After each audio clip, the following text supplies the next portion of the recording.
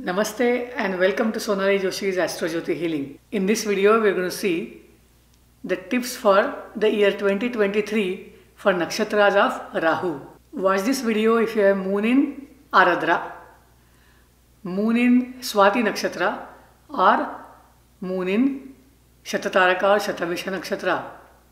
This video also applies to you if you have ascendant, ascendant lord, or sun, or many planets placed in the nakshatras of Rahu. Watch this video to know what you can do in the year 2023 and what you can avoid in the year 2023 to get the best from your horoscope.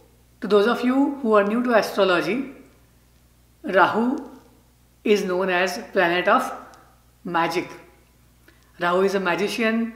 Rahu deals with all the modern technology. Rahu deals with our passion.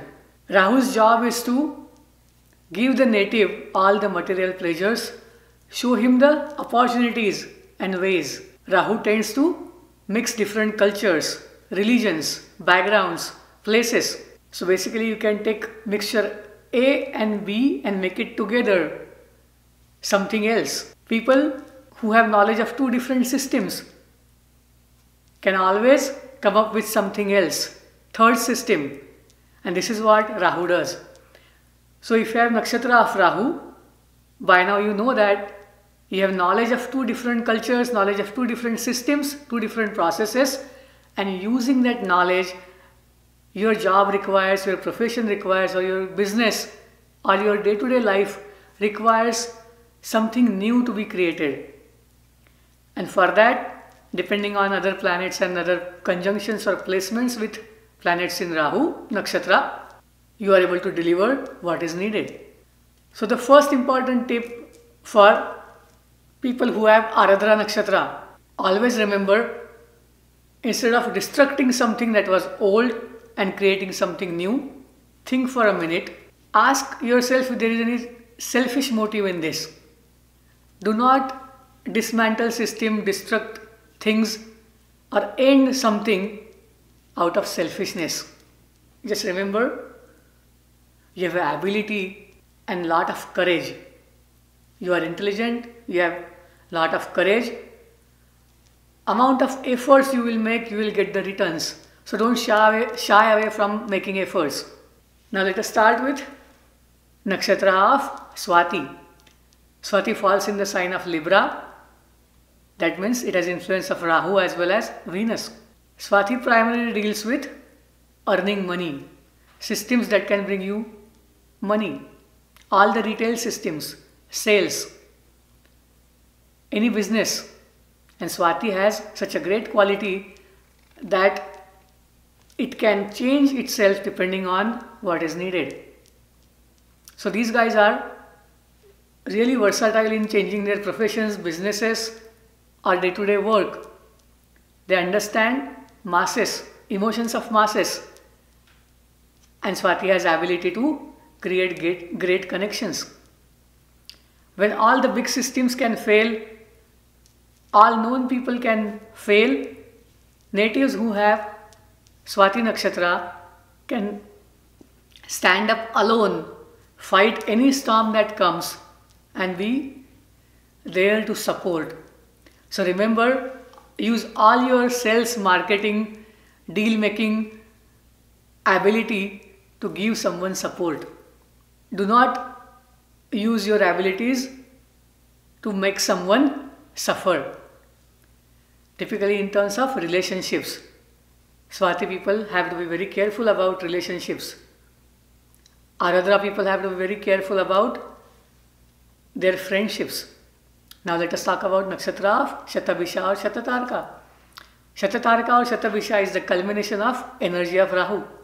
It falls in the sign of Aquarius, which is co-owned by Rahu. So these guys are very talented. These people are very talented.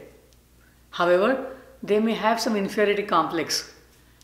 And out of that complex, out of not valuing themselves well, they tend to take disadvantage of their friend circle, their relatives, their father's family, or all the donation systems, charity systems, or from where they'll get profits. So always remember if you have Shatabhisha or Shatataraka, understand you are a healer.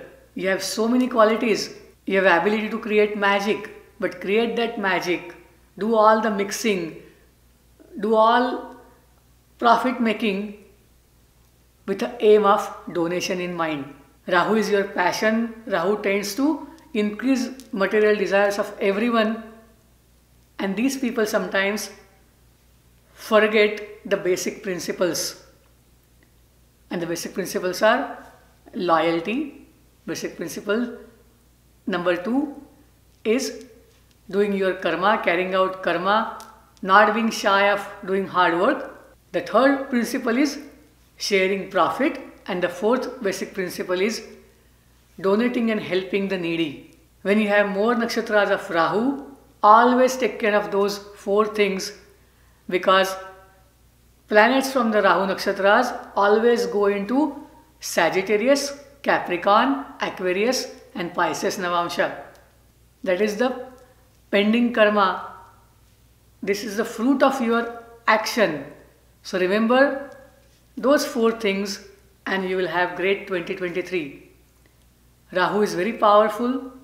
Rahu can always give you all the material pleasures, but it can take away the happiness of mind. It can make you suffer in your personal life, in your personal relations.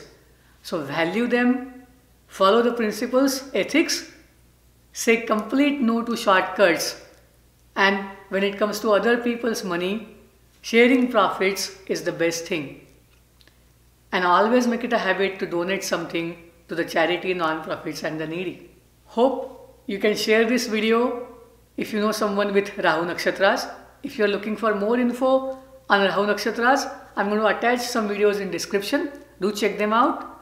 Also check the charts based on Ardra, Swati and Shatabhisha Nakshatra.